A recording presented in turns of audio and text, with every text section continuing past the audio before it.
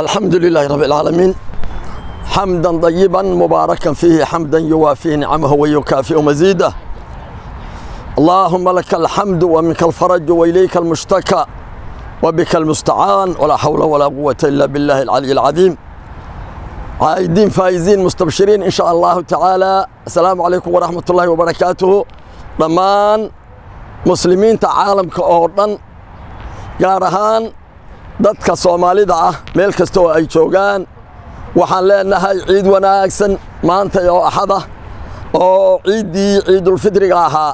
Ramadaan aan soo dhammaysannay aan joogno ciid wanaagsan. Ilaahayo waxaan weyddiisanaynaa kuwii soonkoodii la soo aqbalay oo cibaadadii ay soo sameeyeen iyo soonkii ilaahay uga dhigo mid la aqbalay dunuubtoodiina uu dhaafa ilaahay ha naga dhigo. Waxaan ilaahay weyddiisanaynaa maalmaha sharafta lahaayeenna soo maray ee uu noo sheegay rasuulkeennu calayhi salaatu wasalaam albaabbaha samadu inay furan yihiin oo ducada ay mustajaabka tahay. Ilaahayo waxaan weyddiisanaynaa ummaddaas soomaaliyeed ee ihaanada iyo khilaafka iyo isnacaybka iyo kala fogaanshuhu baabi'iyey. Ilaahay inuu ka dhex saaro waxaas dhex yaalla oo masiibada ah isnacaybka iyo iska horjeedka iyo iskhilaafka ilaahay inuu ka dhex saaro. Ilaahayo waxaan weyddiisanaynaa walaalnimadooda dhabtaa oo ay walaalaha yihiin iyo walaalnimadoodii hore asalka u ahayd labadaba ilaahay ha u soo celiyo. Waa walaalo dhab ah. Haddana dhaqankaas kharribay nacaybka iyo khilaafka ah ilaahay ha ka dhex saaro. Walaalnimadoodii allaha u soo celiyo haybaddoodii qowmiyadeed ay lahaan jireen iyo karaamadoodii iyo qarannimadoodii sarraysay ilaahay ha u soo celiyo. Waxaas dhibka ahoo hayana allaha ka saaro. Haaniyan waxaan rabaa inaan in yar laba dhowr kelmadood ah aan haddana isfarno oo haddaan nahay shucuubtaa soomaaliyeed ee muslimkaa ee halka aabbaa ee walaalaha ah.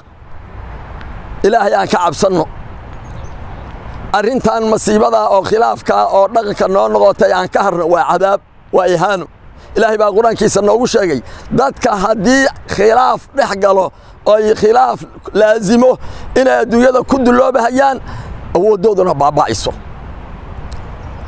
Khilaafkaas masiibadaa ee sidaas noo baabi'iyey ee aad ogtihiina maanta caalamka meelaan joognaba aan ku ihaanaysannahay aan ka harno walaalnimadayadii iyo khayrkii iyo isjacaylkayagii aan u noqonno si ilaahay karaamadayadii annagana noogu soo celiyo.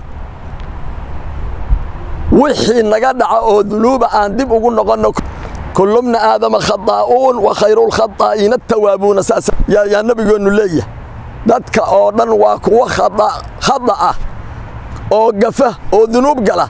Kuwaa dunuubta galana kuwa ugu fiicanu waa kuwa ilaahay u soo noqda ilaahay kuwa u soo noqda weeyaan marka ciiddii aan tukannay oo mubaaragga ahayd oo maantay ahayd shalana uu dhacay khalad.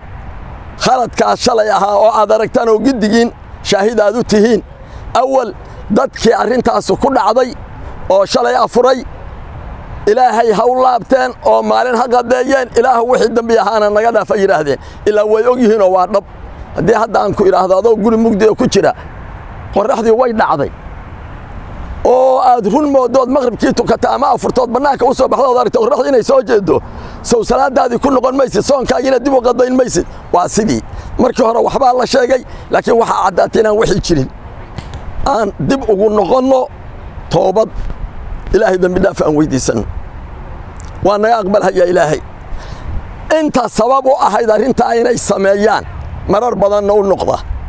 Ilaahay ka cabsada khalqigiisa ilaahay uga cabsada shareecada islaamka ilaahay uga cabsada rugniga islaamka ee la duminhaye baabba'a la baabi'inhayo oo soomkaana ilaahay uga cabsada.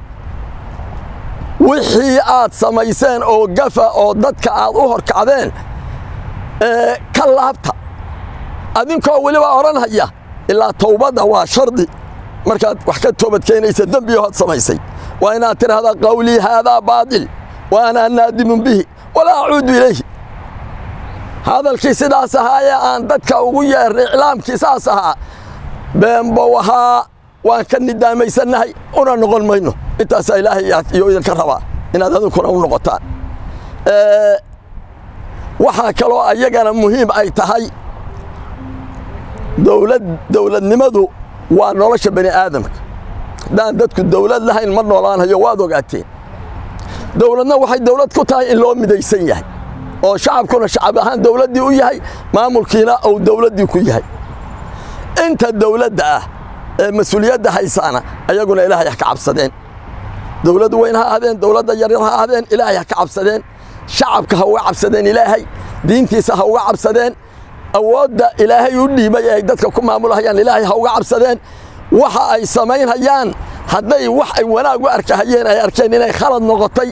Maala hay'adihii dowladda oo kale hadda oo wasaaradaha arrimaha diinta iyo arrimaha qaabilsan wixii ay ku dadaaleen markii ay arkeen inuu khalad soo baxay inay dadkiina ay yidhaahdaan war arrintaasu hadda annagu sidii aan u xukunnay way ka beddelantay annaguna arrintaas sidaan moodaynay ma noqon